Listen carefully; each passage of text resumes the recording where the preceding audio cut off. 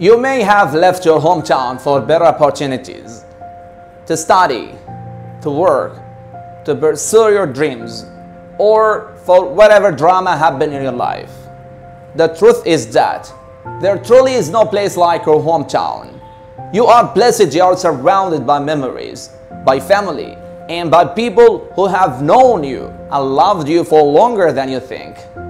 Savor it, appreciate it, contribute its growth, build it, love it, your hometown.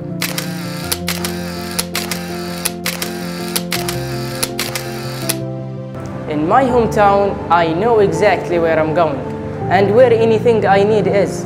It's a quiet place where I feel comfortable and secured. There are few people in this small community. We have strong social connections. I feel loved and appreciated in my hometown. We care about each other. We back up each other. I can't stand it when others talk bad about my hometown. Whenever it gets criticized, I get emotional and keep explaining to them how awesome it is.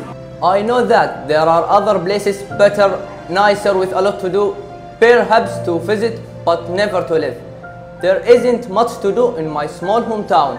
However, it's a good, incredibly relaxing place to live in. My hometown holds the happiest memories of my childhood. It's where I belong, it's where my heart is.